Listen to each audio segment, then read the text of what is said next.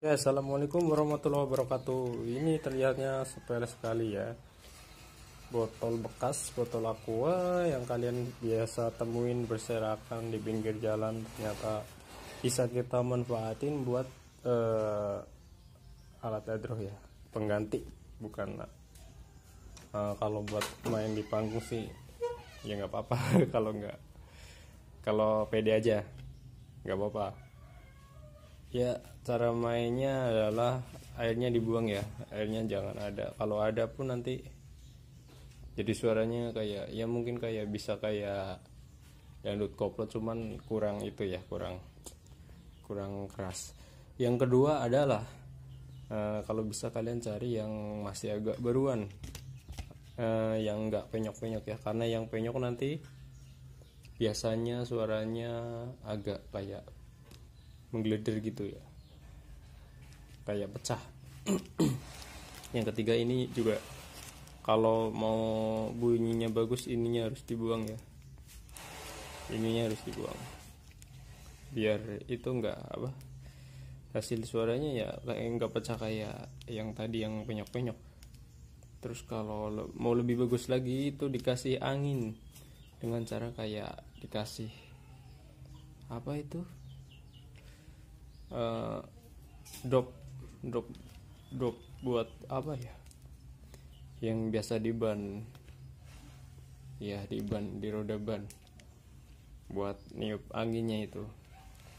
Karena uh, udara lebih menekan keluar ya biar nggak kayak pecah.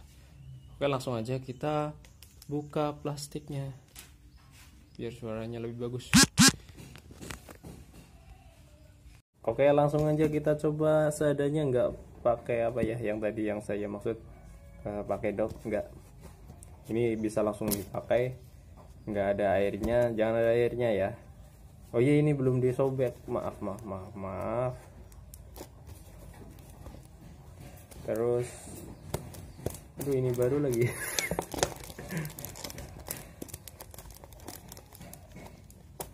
Ntar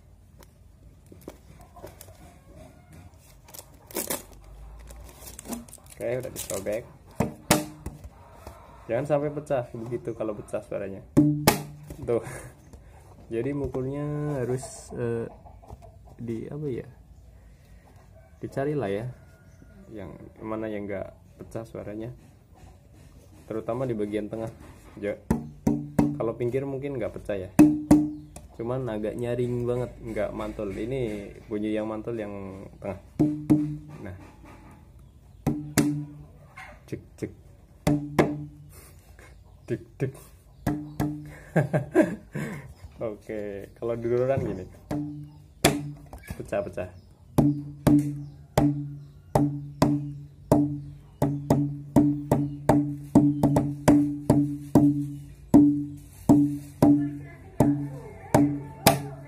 Dah, sekian. Uh, belum sekian.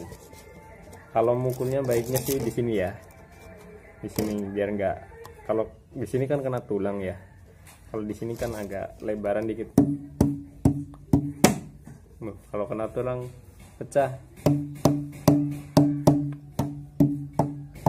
Atau kalian mukulnya enggak keras pelan cuman pakai perasaan ya. Nanti kalian dapat feelnya sendiri kok. Oke itu dia tadi uh, tips. Kalau nggak punya tam ya kalau nggak punya alat kalau semuanya belum terkoordinasi uh, aliasnya baru bikin grup terus mau pakai apa nih buat latihan? Ya ada baiknya pakai cara ini ya. Oke untuk bassnya mungkin nanti nyusun sekian assalamualaikum